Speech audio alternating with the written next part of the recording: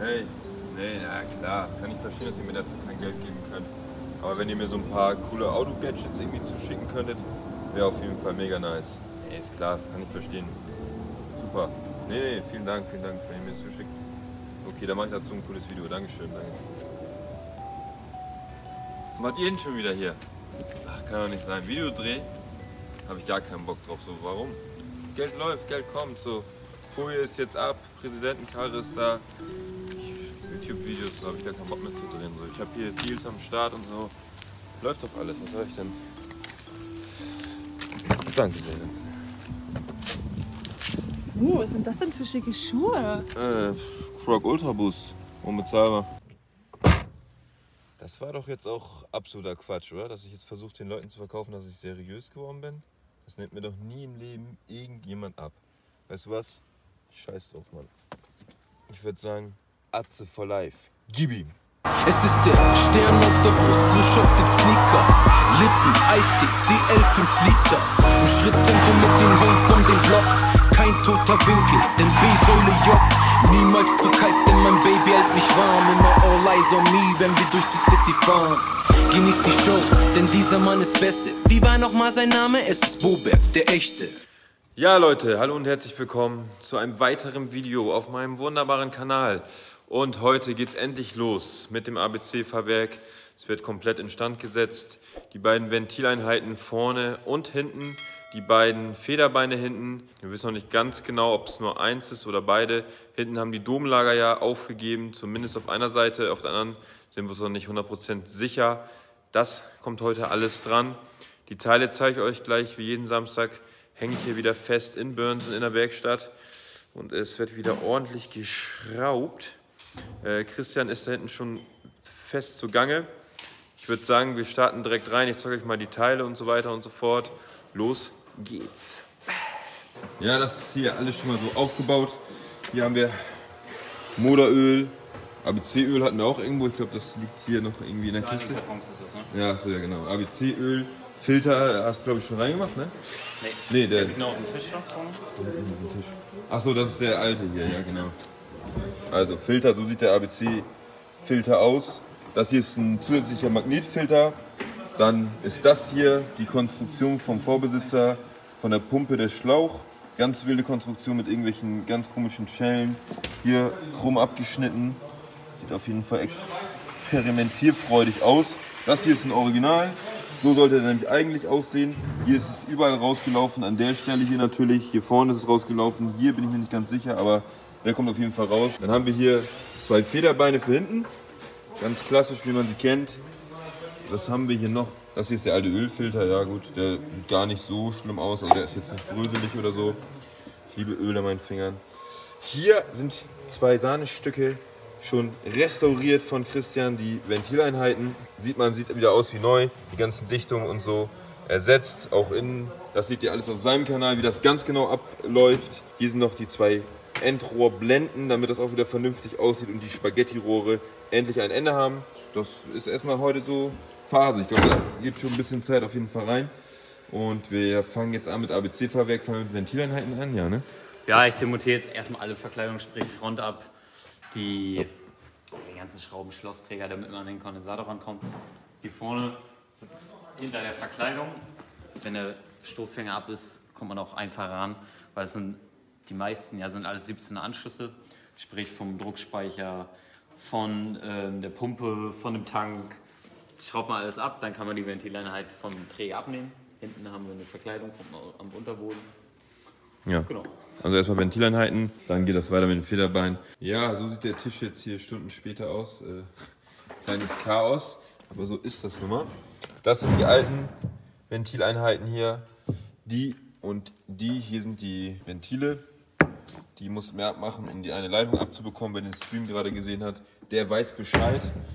Hier sind die neuen verbaut, wie man sehen kann. Hier ist einmal vorne links und hinten links. Da gehen wir gleich nochmal hin. Wurde alles neu abgedichtet. England, Set, habe ich schon mal drüber gesprochen, kann man ganz normal bei Ebay bestellen. Das hat Christian alles zu Hause in Heimarbeit abgedichtet. Nachtschicht. In Nachtschicht.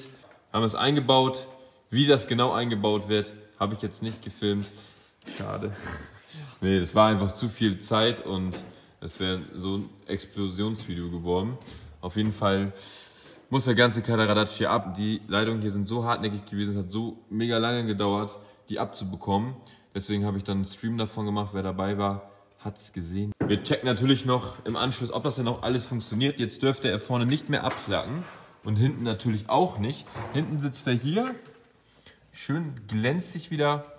Alles markiert hier, damit du auch weißt, wo welcher Stecker wieder rankommt. Hier sitzen die Leitungen dran. Einfach wunderschön und hoffe, dass jetzt hier nichts mehr absackt. Jetzt widmen wir uns dem Federbein. Hier, wie spät haben wir es jetzt gerade? 1 Uhr? 1 Uhr, ja. 1 Uhr nachts haben wir es.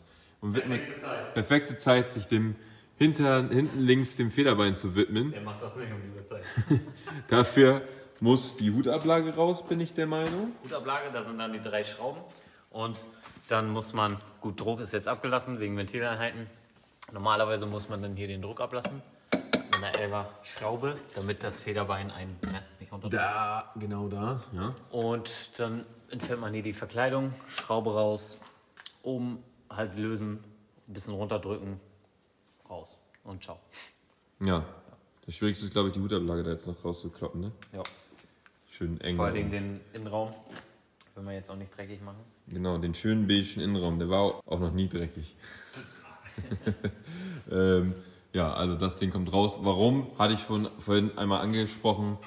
Wegen dem Domlager, äh, was poltert. Also der Poltergeist soll beseitigt werden. Schauen wir jetzt mal, wie sich das danach anhört, wenn das Ding da drin ist.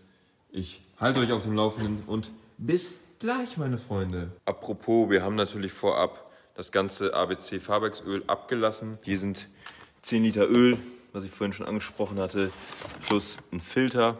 Der neue Filter auch mit den drei Nanometern ist es, glaube ich, oder Mikrometer, ich bin mir gerade nicht sicher.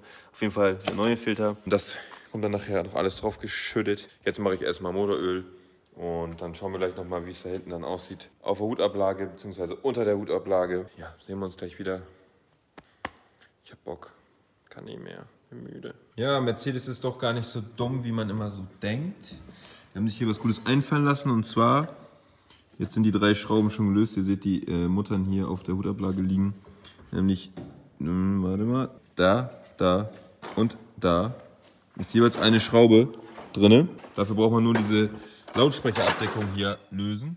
Dann kommt man da dran. Lautsprecher. Fake-Lautsprecher. Ne, da sind wir weg, oder? Ach nee, da sind gar keine. Ich da wären so Höhen drin. Nee, ja, Fake-Lautsprecher, Abdeckung lösen. Ähm, die Kopfstützen sind auch besser, wenn man die rausnimmt, weil kommt einfach besser dran. Das hier muss gar nicht unbedingt ab, die Subwoofer-Abdeckung. Und die ganze Kopf, die ganze Hutablage auch nicht, wie wir es erst vermutet haben. Bei der langen Version ist es allerdings so, beziehungsweise wenn man hinten Einzelsitze hat. Das ist auf jeden Fall schon mal ein schöner Zeitersparnis, eine schöne Zeitersparnis. Weil man an die eine Schraube nicht so easy rankommt, muss man dann hier, wo der Airbag hinter sitzt ich kann nicht mehr so gut reden, ist schon ein bisschen später. Ja, muss man Ach, guck mal. das hier noch lösen. Und jetzt hat der Christian hier unten noch was Schönes gefunden. Jetzt habe ich das Poltern gefunden. Guck mal hier. Das ist, kann ich gleich mal Vergleich machen. Zum anderen, das ist Ja, wir legen die gleich mal nebeneinander, würde ich sagen. Also, der Poltergeist ist auf jeden Fall hier erkennbar. Erkennbar. Ersichtbar. Alleine, wir fangen mal oben an beim Domlager. Hier, das ist äh, repariert bei Bobi, steht nochmal hier fett drauf. Das ist auf jeden Fall das Neue, beziehungsweise das aus dem Maybach, aus der Maybach S-Klasse, wie man hier erkennen kann. Wackelt nichts, rüggelt nichts. Hier haben wir, seht ihr das? Ordentlich Spiel. Daher kommt auch unser kleiner Poltergeist wahrscheinlich. Und unten ist es eigentlich noch extremer, finde ich. Hier ist der neue, alles gut, schön fest. Und hier siehst du richtig, wie ausgenudelt das ist. Das ist richtig extrem, finde ich. Guck mal, wie, wie viel Spiel das hat jetzt. Ich hoffe, man sieht das so. Es ist echt, wenn man das vergleicht mit dem hier, wo sich einfach gar nichts bewegt. Das ist also ganz klar, woher es kommt. Und ich würde sagen, den Johnny rein jetzt und dann müsste das Poltern ein Ende haben. andere Seite auch noch. Das ist Seite. ja genau das gleiche Problem. Ja. Der wird auch nicht viel anders aussehen. Glaube ich auch nicht. Kannst du auch nochmal zeigen gleich. Ja, bis gleich. Zweites Federbein ist mittlerweile auch fast soweit und Mercedes hat sich ja was ganz Besonderes einfallen lassen. Die sogenannten Schnellverschlüsse Die sind einfach, einfach und sehr schnell zu lösen. Eben da die Vorhaut runterziehen und dann, Die Vorhaut, ja. Echt. und dann geht's los. Ganz einfach. Also innerhalb Sekunden lässt sich da mal so ein Federbein wechseln. Millisekunden. Hier sieht man diese Kügelchen und dann muss eigentlich die Spange entrasten und dann kann man das ganz schnell nach unten ziehen. Seit 10 Minuten sind wir hier schon am Entrasten. Entrasten. Und ausrasten. Kurz, aus, kurz vom Ausrasten. Jo, da ist das Ding. Wie ihr sehen könnt, jetzt haben wir hier das hier, bei der Manschette hat das nicht ganz überlebt. Noch schon ein paar Spinnennetze haben sich hier gefunden, Angesiedelt. angesiedelt. Auf jeden Fall, hier das Domlager ist nicht ganz so doll wie bei dem anderen. Es hat auch nicht so gepoltert, die rechte Seite. Nicht so doll, aber hat auch gepoltert. Also hier ist das Spiel und unten haben wir genau das gleiche wie auf der anderen Seite. Auch hier Megaspiel drin. Ja, Da nichts mitzuretten. nützt nix, muss neu, machen wir jetzt rein. So Leute, halb vier Uhr nachts, ich habe keinen Bock mehr. Aber nützt ja nichts, die Federbeine sind wieder drin, die Ventilblöcke sind drin. Und was brauchen wir noch? Richtig Öl. Ohne ABC-Öl läuft es nicht. Und dann gibt es natürlich auch einen neuen Filter.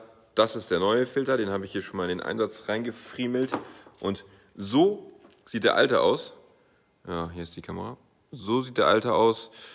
Ja, 40 Euro bei Mercedes muss sein. Und jetzt hat der junge Mann Die Welt revolutioniert. im, in meinem Background noch einen ganz speziellen Trick für uns. Ja, jetzt brauchen wir ein bisschen Druck aufs System auf. Beziehungsweise vor die Pumpe, damit die nicht Luft ansaugt und kaputt geht. Weil wir haben ja hier am System gearbeitet. Wir haben vorne die, den ABC-Kühler hier abgehabt und Servolenkungskühler. Hier sieht man auch schön, hier war die Schraube abgerissen, hier war eine Schraube abgerissen, hier war eine Schraube abgerissen. Alles wieder in Ordnung. Alle Schrauben sind wieder da, wo sie hin sollen. Aber man hört, das Öl fließt schon in die Kanäle, ne? ja, das gleiche mache ich auch mit der Servolenkung. Süß.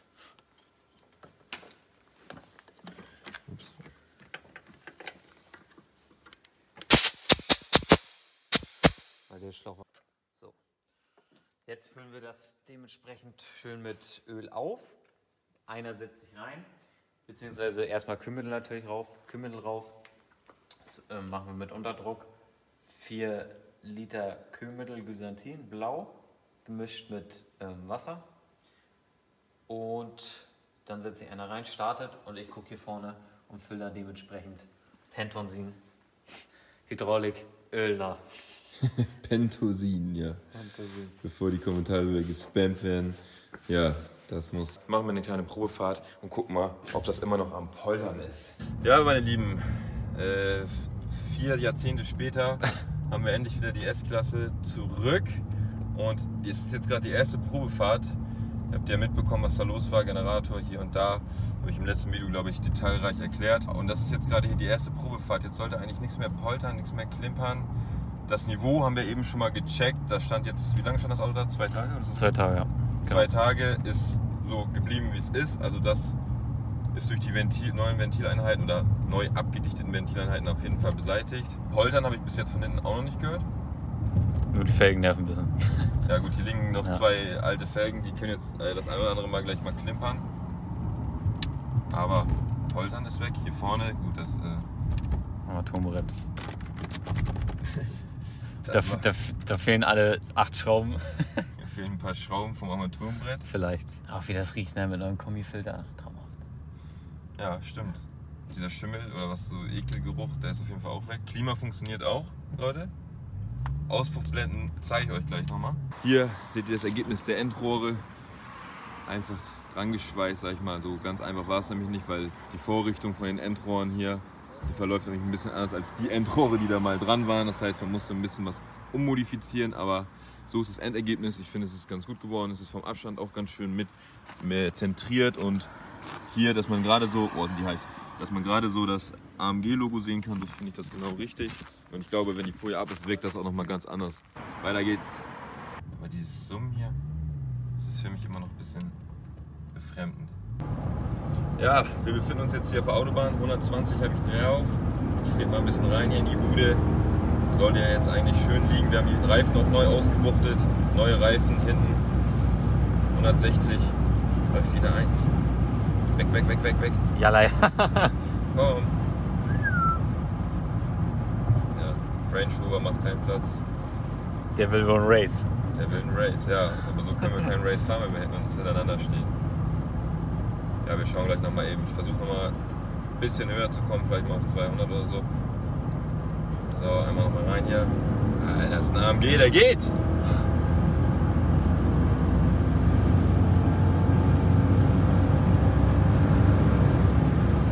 Liegt gut, ne? Aber liegt wirklich gut auf der Straße. Etwas besser als der CL mit 21 Zoll. Kein Vibrieren. Der ja voll geil, ne? 100, 200 km/h. Offene Autobahn hier, kann man das ruhig mal machen. Ja. Also, Was willst du mehr? Fahrverhältnis 1A, wie Neuwagen sozusagen. Vielleicht jetzt runter 189 oder sowas. ne? 184.000 gelaufen. Da geht noch was. Ein paar Kilometer kann der noch. Damit beenden wir das Video. So, vielen lieben Dank fürs Zuschauen. Seid dabei. Vergisst nicht, den Kanal zu abonnieren. Lasst ein schönes Like da für die ganze Mühe und Arbeit. Auch vielen Dank an Christian und an Autoservice Burnsen, die das ermöglicht haben, dass wir das so schnell und zügig durchziehen konnten. Ja, vielen Dank und schönes Wochenende. Peace.